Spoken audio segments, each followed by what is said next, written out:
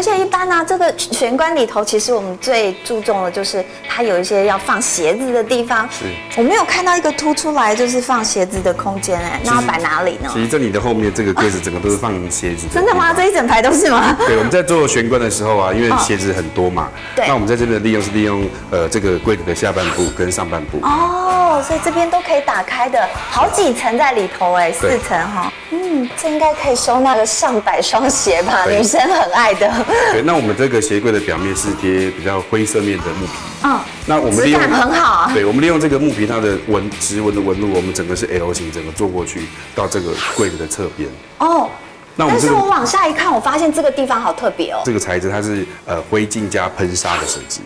所以它原本是面镜子，对然后再喷砂对处理，就会变成这样子一个效对，果。因为我如果我们单单用呃喷砂的效果，它不太会有这么呃特殊的质感。哦但是用灰镜加上喷砂，整个双重的处理之后呢，它有特殊的这样的一种呃稍微带略略带粗糙质感的这种灰色的感觉。嗯，有一点那种极简风的味道在里头。嗯，建志，你刚刚提到这是一个 L 型的、啊，就是对这样整个顺着过去啊。对，这整个木皮的材哦质整个顺着过去 L 型，这边是一个储藏的空间。储藏空间哪里有啊？这边有个暗门你可以推推看这里哎哎，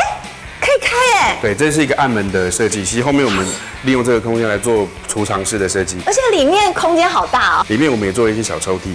甚至我们可以放一些篮子啊，甚至是吊杆，都可以吊挂一些呃外套。而且上面它有做那个通风的，对，后面上面我们有一个抽风机，哦我们让储藏室它整个里面的空气也不要闷在里面。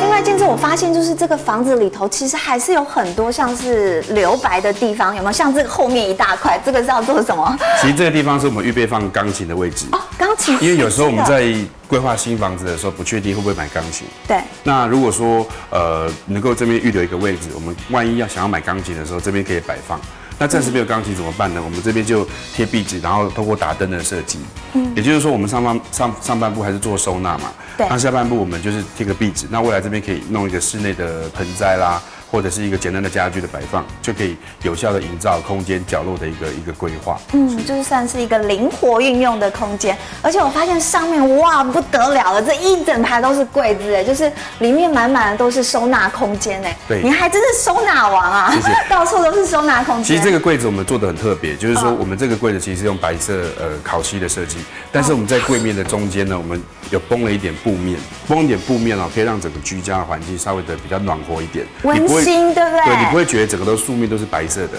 那其实为什么会做这整排的柜子呢？因为其他上方有一个梁，对。我发现了，那因为屋这样一提我就发现了那。因为屋主可能会希望说不要坐在这个梁下，因为我们沙发的呃他不想坐在梁下，他怕会有压迫感，嗯所以我们就整排做了一个收纳，而且你可以看到这边有一个很特别的展示柜，因为其实屋主喜欢摆一些小东西，嗯，那我们在沙发的后面这个中间的空间呢，我们透过打灯的方式，而且这个每一个层板中间都有玻璃，等于是灯光从上面，它可以从这个玻璃透到下面来。而且我发现沙发后面也不得了哎，还是有收纳，就是整排下面都是可以开的嘛，对不对？因为这样的话，我们沙发下面我们也不要浪费，我们可以做一些推拉门的设计。哦所以也许比较少用的东西，我们就利用在沙发后面的下方来做一个设计。